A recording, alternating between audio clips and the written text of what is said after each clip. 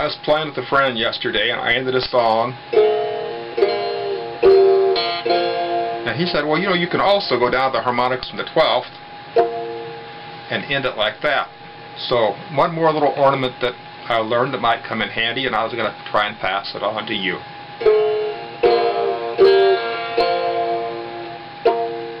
That's it.